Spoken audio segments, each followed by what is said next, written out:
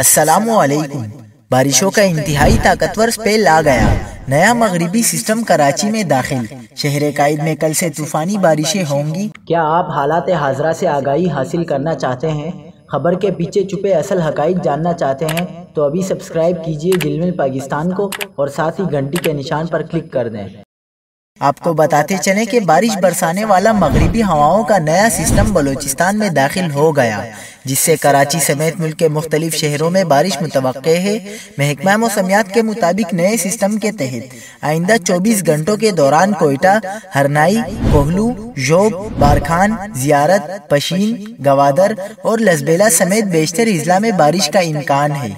शुमाली बलोचिस्तान से मुल्क में आने वाला सिस्टम वस्ती और बालाई सिंध में भी दाखिल होगा, जिसके बाईस कल से सात जनवरी तक कराची और हैदराबाद समेत सिंध के बेशतर अजला में बारिश मुतव है। पिशावर समेत खैबर पुख्तनख्वा के बेशतर अजला में भी कल से बारिशों का नया सिलसिला शुरू होने का इम्कान है।